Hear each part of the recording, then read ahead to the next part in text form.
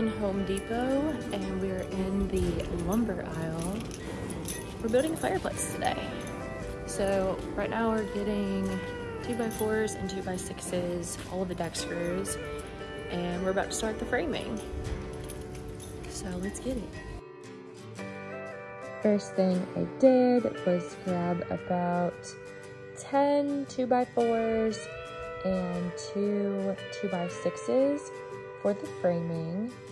Also went ahead and got enough lumber for the bracing so that later I could mount any deer, my 65 inch TV, as well as the reclaimed wood mantle. That is going to be the next video. And so we're just loading up all of the lumber.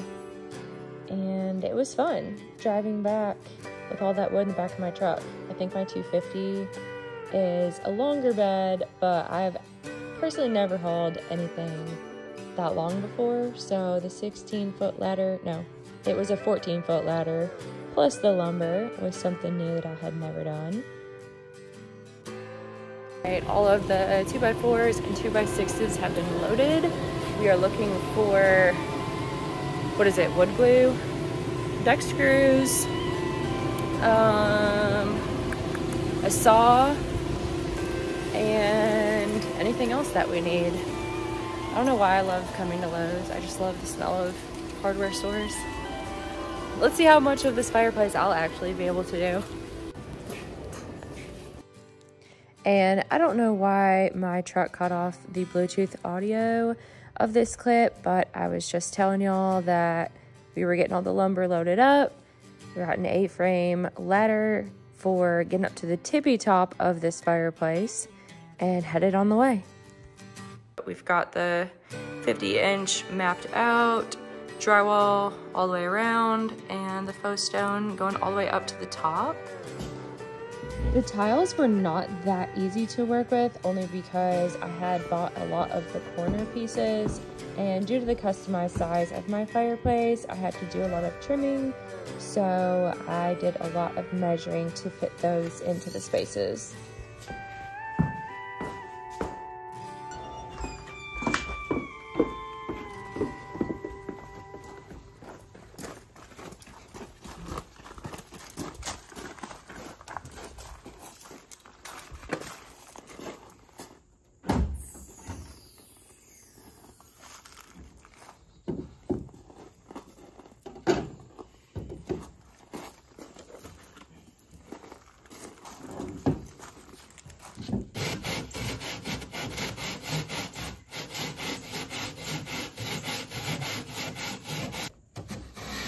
I cut the shiplap in a few different spots just because I had already cut the length of it and had to make sure that it slid just beside the other piece like a puzzle.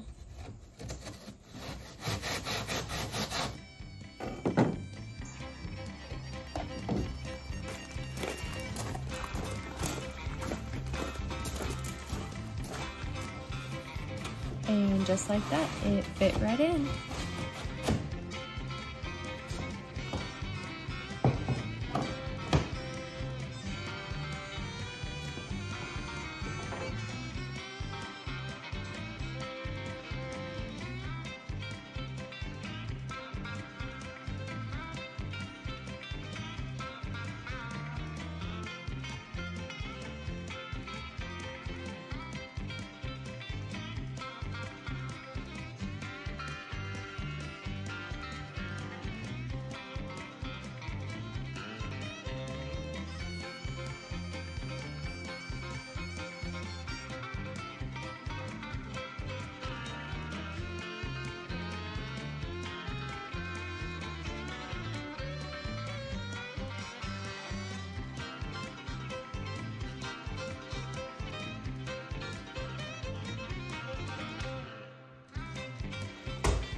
This is what I meant by all of the corners.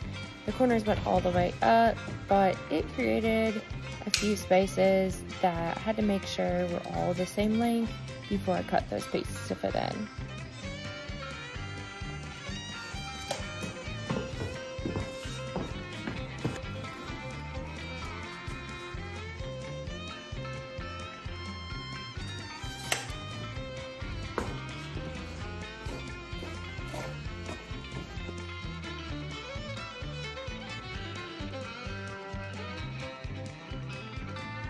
You might as well call me a carpenter after this because I learned how to use a handsaw on this job.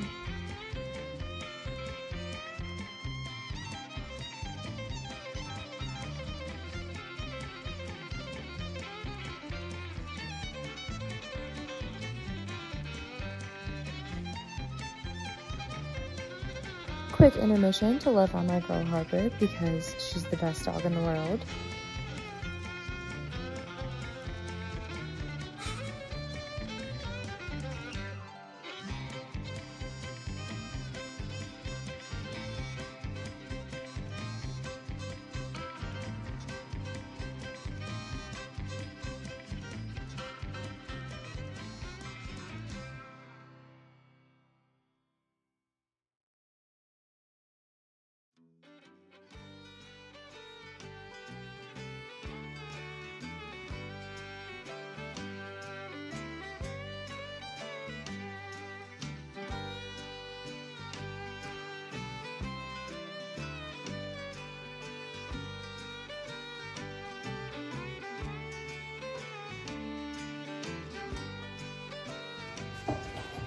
I'll admit this project was a little frustrating, but I saved a lot of money and it looks just as good as the real thing, so I'm happy.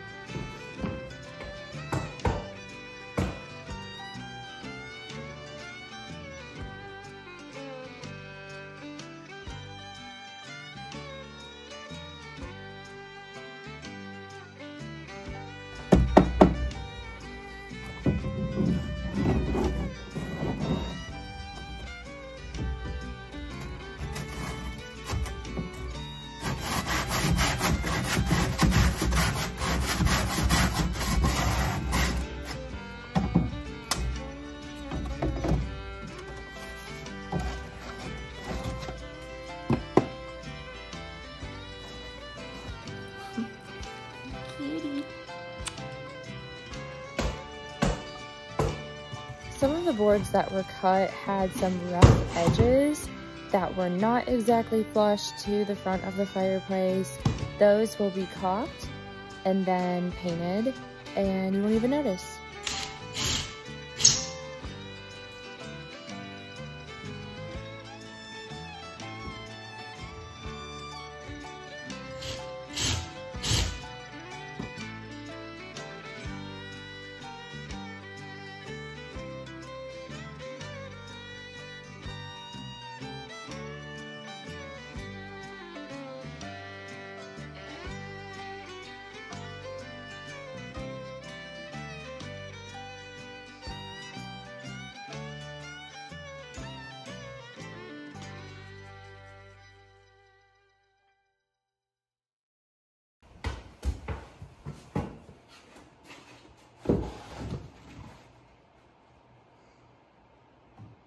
I can't reach that.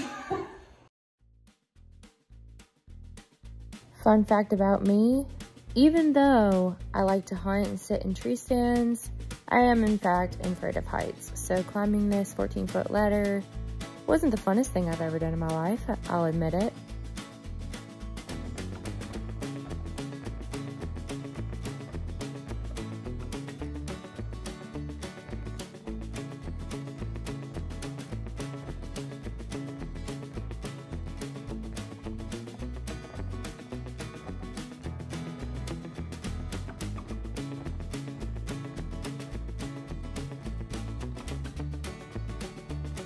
With a 50 inch touchstone, I believe it's called a sideline electric fireplace. Here I'm just pulling out all of the crystals that will go over the LED panel and create a beautiful illumination over the heated electric fireplace.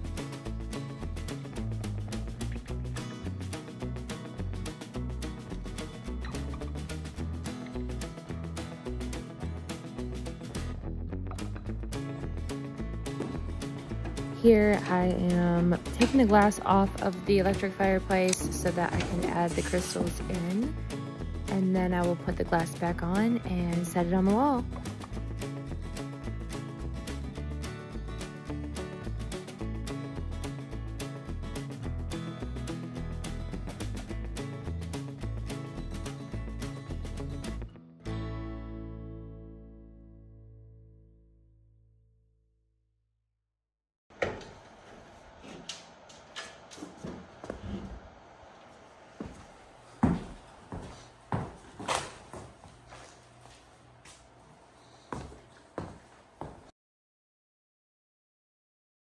With this fireplace, you could choose between faux logs or the crystals for the embers. And I chose to use the crystals because I thought it looked more real.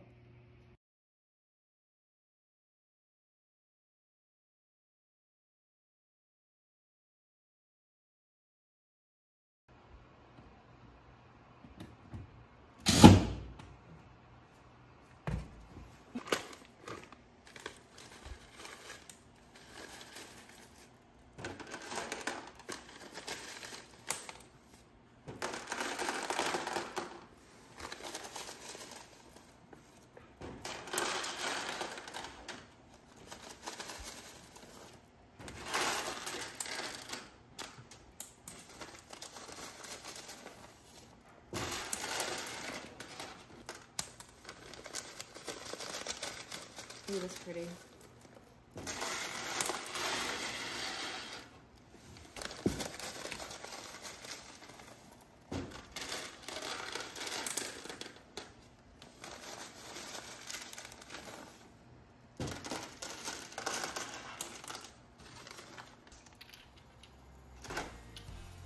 I especially love this fireplace because it has the LED color changing, but you can not only change the flame effect from high to low and the color of the flame, but the ember color as well. And it has so many different colors, I was utterly obsessed.